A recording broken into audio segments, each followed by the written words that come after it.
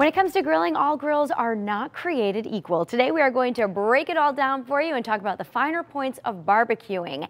Joining me now is Lori Greene, the owner of Elizabeth Richard Gifts. Nice to have you back here, Lori. Thank you very much, Teresa. Uh, we have to mention you have five grills. You are really like a grilling expert. I love to grill. you know I what don't you're if doing. A, I don't know if I'm a grilling expert, but I do love to grill. My dad loved to grill, and he um, he kind of passed that tradition along to me. So I am the griller in the house, not my husband.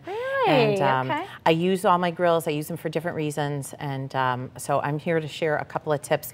This weekend we've got a, a function going on at the store, and it's Yeah. revolving around barbecue, and I'm smoking some meat to bring into the, the Oh, function. So we are going to talk about smoking meat, and I'm going to break it down. And it's really not as hard as it sounds, and it's not that complicated. And you can get a great result at home with some simple tools and some simple tips. I love that. And speaking of tools and tips, you have all that stuff in your store. Anything you might need. We do, we do just about. Just we really are for the way you live your life. That's what we say around the store, and we mean it. And we have uh, some video right now of some of the gifts there. It's a great gift shop. Uh, I registered there. You have china. You really have anything a bride could have, could want. Anything that anybody could want. And that's true. We're a great source now. Uh, we're really busy these days with teacher gifts and Father's Day gifts. Oh, that's right. So just because we're, you know, seeming to be a lady store doesn't mean that we don't have things that the guys enjoy. So come on in, do your Father's Day shopping, get those last minute teacher gifts. We're here for you. Very good. And uh, you could spend an hour in there at least looking around, At if not least- more. And if you spend longer than that, I'll, I will put you on the payroll. That's perfect. I'll have you wrap some gifts for me.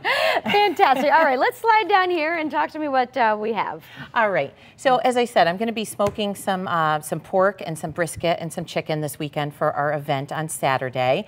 And um, I am lucky enough to have a smoker at my house. I have one of these uh, uh, like big green eggs. It's actually called a grill dome. Okay. And um, it's really cool. And so there's two different types of charcoal out on the market. And the first thing I'm going to talk to you is about the differences between the charcoal. You've got regular charcoal briquette and you've got what's called lump charcoal. In the smoker at a low and slow temperature, you're always going to want to use this funny kind of lump charcoal. Okay. I know it doesn't look that pretty, but believe me, it, it's going to burn longer, so you're not going to have to add as much charcoal in the, the whole process. Because when you're smoking meat on a smoker, you really got to have that going out there for five, seven hours, you know, Sure, even like an longer all-day thing. Sure, it's an all-day thing. So you want to make sure that you're adding um, charcoal as little as possible because you want to be working on your tan while the, the meat like is the going, sound of which that. is what I was doing this weekend. But um, the other thing you're going to want to make sure that you have um, available when you're smoking is you're going to want different kinds of wood chip. You're going to want wood chips, and you're also going to want chunks of wood. The chunks of wood you're going to lie on your hot coals after you've soaked them, Okay. and that's going to create this wonderful, intense, smoky flavor, and uh, it's going to make your meat just absolutely delicious. Um, the wood chips you're going to also soak, but you're going to put them in this nifty little uh, aluminum pan that you can get. Even a, a loaf pan would work fine, and you're going to nestle that down in your um, your grill or your smoker, um, and that too is also going to impart a lot of flavor. But it's two different kinds of wood, and I do use both the chunk and the chip. Okay, good to know. This is what uh, I use to start my fire up. This is a chimney starter. I do not like to use lighter fluid, Teresa, because it smells funny, and also I think it leaves a funny taste on all the food. So what I like to do instead is use a little bit of paraffin wax, and this is just a little paraffin wax cube from Weber. Um, you put it right into your smoker chimney or your uh, your starter chimney. You put your charcoal on top of it. You light your your wax chip, and you're all set. You can also make your own. I have a Boy Scout at home, so we do a lot of things by hand. And if you get yourself some uh, paraffin wax, you can make your own little fire fire starters for half the money. Okay. Uh, a nifty little thing that I've picked up along the way is this Himalayan salt rock here. And you think to yourself, what the heck is that going to do? Well, I'll tell you what it's going to do. It's going to give you a lot of flavor inside of your, uh, your grill. You're going to nestle this down in your grill and you're going to leave it there all season long. You're not going to take the thing out. At the bottom of the grill? At Like- the bottom of the grill where you put your coals and Yeah. stuff. And if you have a gas grill, you're going to put, um, we do sell flatter ones too. This one is great for a smoker because of the shape of a smoker. You know, it, it allows you to get it in there deeper. But um, you're going to put it in there, you're going to just leave it, and it's going to um, slowly eat away. It takes about two years to eat away. Oh. And it's going to give you all kinds of flavor, and your meat is going to be extra juicy. And it really does work. So give it a try. It's not that big of an investment. The smaller, like home size one, is $28. Oh, and you can pick it up at the shop. Okay. Make sure that you have a lighter with you. That's Helpful. important too.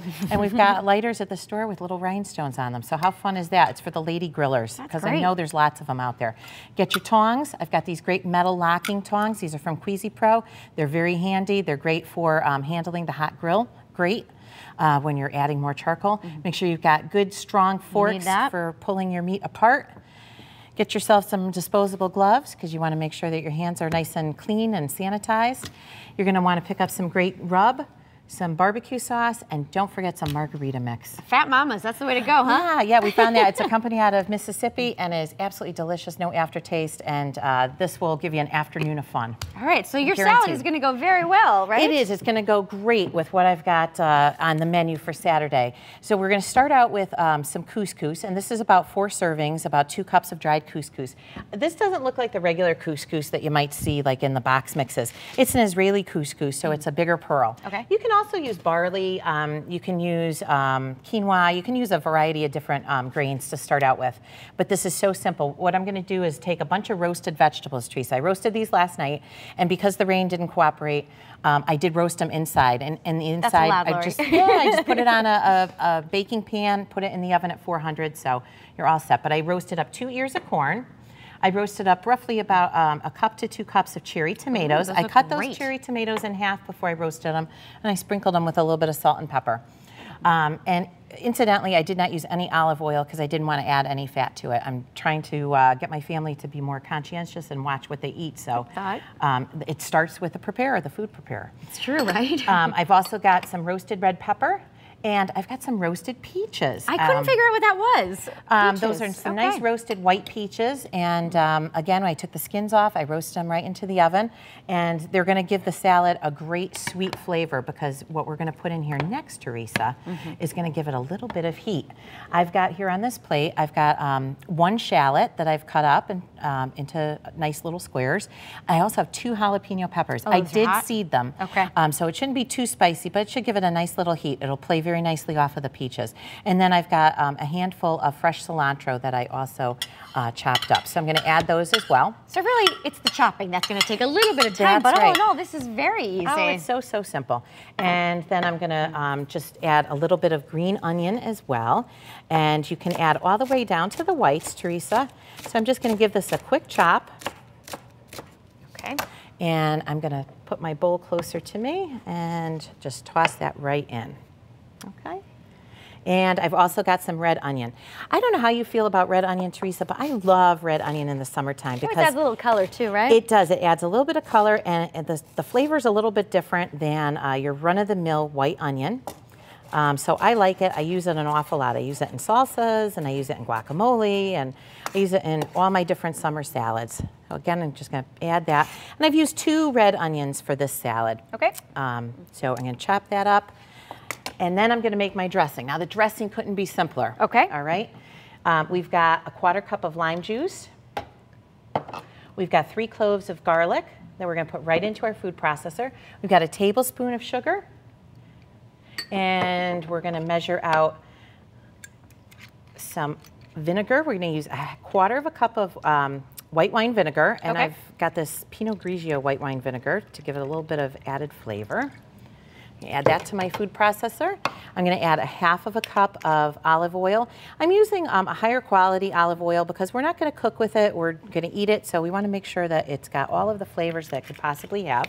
All right. Well, I'm going to let you mix that up. I know that you have a new blog up about grilling. We could find that. And of course, you have the barbecue happening this Saturday. Yes, we've got the barbecue happening on Saturday from 11 to 2, but the shop itself is open from 10 to 4. So come on up and see me. We've got some goodies for everybody to walk away with if you get there early enough and you'll get to sample all of our treats and uh, all of our barbecue stuff. Sounds good. Pretty easy to get there. Elizabeth Richard Gifts is uh, right on the Waterbury Middlebury line off exit 17. Great place to do some shopping and obviously have a little lunch on Saturday.